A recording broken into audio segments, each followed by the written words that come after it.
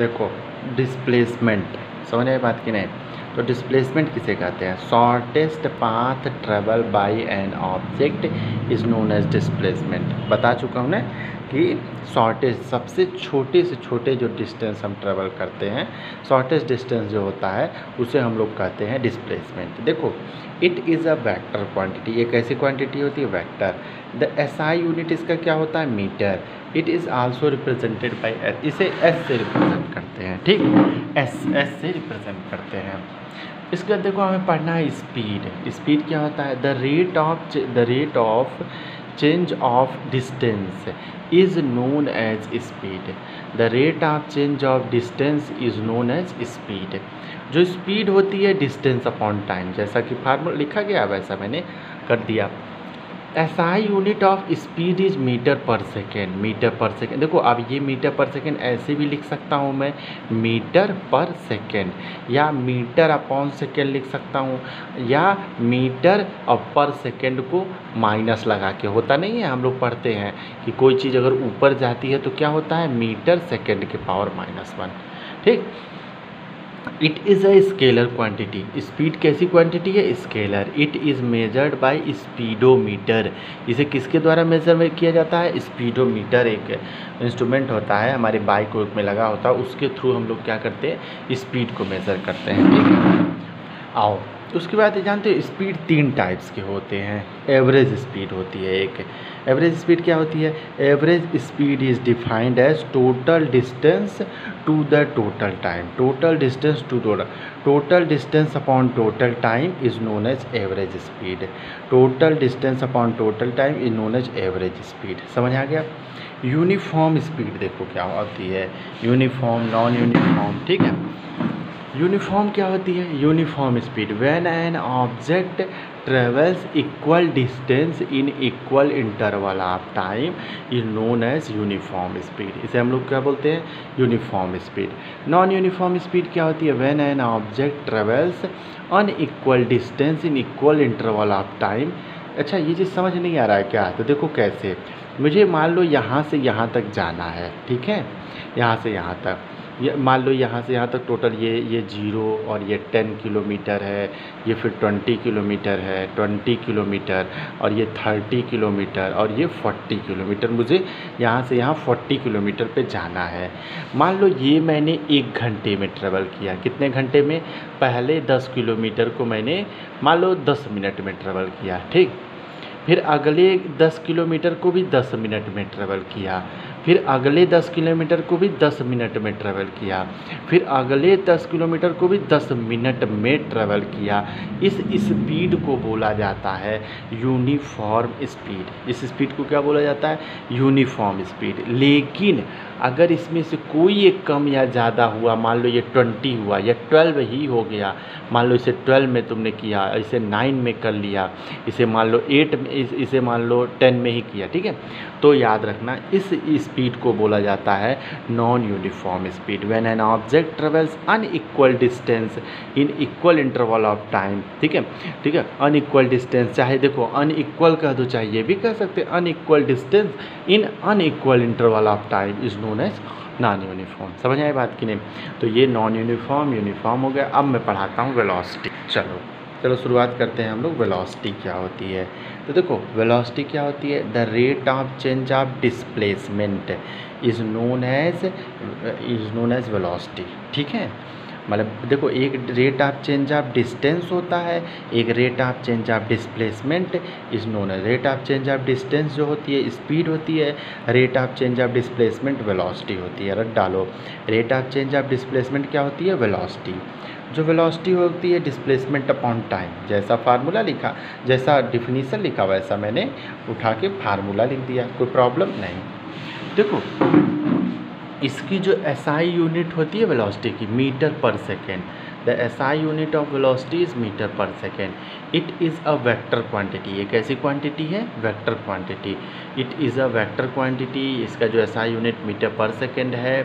अच्छा it is represented by V or U ये we और यू दोनों से रिप्रेजेंट किया, करता है किया जाता है डिपेंड करता है। अगर वी से रिप्रेजेंट किया गया तो वो final velocity of an object मतलब वी से फाइनल वेलोसिटी को यू से इनिशियल वेलोसिटी अब फाइनल इनिशियल समझ में आ रहा होगा, किसी भी ऑब्जेक्ट की जो फाइनल वेलोसिटी होती है, उसे फाइनल वेलोसिटी कहते हैं। इनिशियल जो होती है, उसे इनिशियल इस एक को वी से, एक को यू से रिप्रेजेंट करते हैं, ठीक? अब आते हैं एवरेज वेलोसिटी पे। The ratio of total displacement to the total time is known as average velocity ठीक है? टोटल ठीक है? ये। और एवरेज वेलोसिटी जो होता है total displacement upon total time वैसे ये इतना हम ज़्यादा यूज़ नहीं। एक ये वाला फार्मूला है average velocity V plus U by two इसका यूज़ मैं ज़्यादा करता हूँ, ठीक है? तो एवरेज वेलोसिटी ये होता है initial velocity plus final velocity by two तो मतलब ये भी हम लोग लिख सकते हैं the average the average velocity is the sum of initial velocity and final velocity by two is known as average velocity ठीक है? तो ये एवरेज वेलोसिटी का बहुत अच्छा फार्मूला है जो मैं यूज़ करूँगा एक दो जगह, ठीक है? बात समझ में आ गई? ये तो ये तो जैसा एवरेज होता है, वैसा मैंने यहाँ पे लिख दिया। ये भी हो गया हम लोगों का। उसके बाद में आता है uniform velocity uniform velocity if an object change equal displacement in equal interval of time is known as uniform velocity if non uniform क्या होता है? If an object change unequal displacement and in in equal interval of time in non uniform velocity इसे कुछ समझाना तो है नहीं, ठीक है? इंस्टेंटेनियस एक नया वर्ड में ला दिया, ठीक है? एक बात बताओ, मेरे पास बुक नहीं है, बिना बुक के पढ़ा रहा हूँ, ठीक है? तो थोड़ा बहुत स्पेलिंग में गलती वलती हो सकती है वो आप लोग देख लीजिएगा। इंस्टेंटेनियस वेलोसिटी बाकी बताया जो जा रहा है बिल्कुल सही। Instantaneous the instant velocity instant मतलब क्या होता है? तुरंत। जैसे कोई गाड़ी जा रही है और उस गाड़ी का मैं कहूँ वेलोसिटी बताओ, इस समय क्या है? कोई गाड़ी, कोई ट्रेन कोई एरोप्लेन बहुत तेज़ी से जा रही है। हम कहें एरोप्लेन मान लो हमारे ऊपर से निकली बहुत तेज़ी से। मैंने कहा, इसकी वेलोसिटी बताओ क्या है? तो जो वेलोसिटी मैं पूछ रहा हूँ, वो इंस्टेंट वेलोसिटी है। तुरंत की वेलोसिटी है। उस तुरंत की वेलोसिटी को हम लोग बोलते हैं इंस्टेंटेनियस वेलोसिटी बात समझ आ गई? ठीक, ये वेलोसिटी भी ख़त्म हो गया। अब आते हैं एक्सेलरेशन पे। देखो एक्सेलरेशन क्या होता है? The rate of change of velocity with time with time the rate of change of velocity with time is known as acceleration मतलब change in velocity with time change in velocity with time is known as acceleration change in velocity upon time is known as acceleration और acceleration होता क्या है? V बरा A बराबर V minus U by T A बराबर V minus U by T it is a vector quantity एक ऐसी quantity होती है vector quantity S I unit of acceleration is meter per second square याद रखना। चाहे इसको हम तरह तरीके से लिख सकते हैं, ये बात समझ में आ गई। It is represented by A इसे किससे रिप्रेजेंट करते हैं? ए से।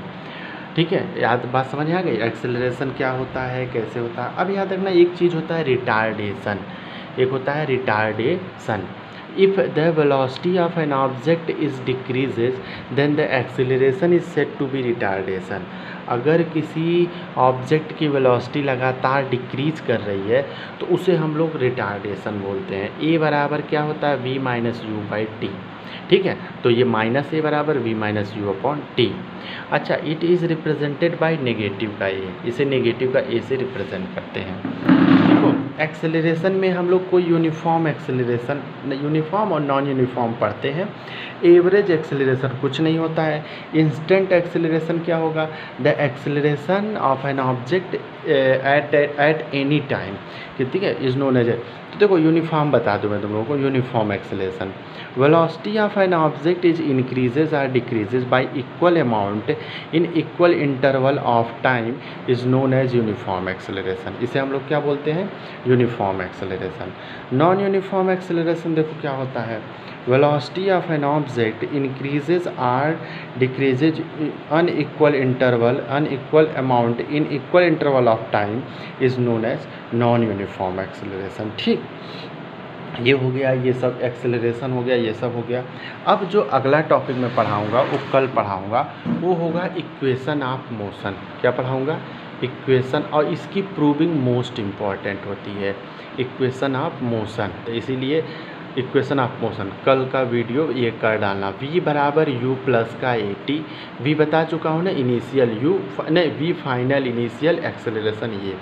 और ऐसे ही s बराबर यू टी प्लस का हाफ़ ए टी स्क्वायर ठीक है? और इसी तरीके से है v square equal to u square plus का टू वे या मोस्ट इंपॉर्टेंट टॉपिक हमारे चैप्टर की शुरुआत हो चुकी है।